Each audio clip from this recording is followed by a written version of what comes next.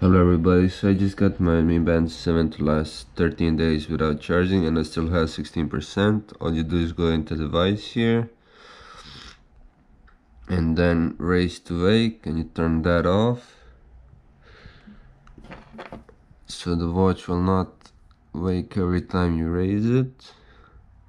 And in the watch you go to settings display and brightness and brightness adjust and you put take this thing and pull it all the way down.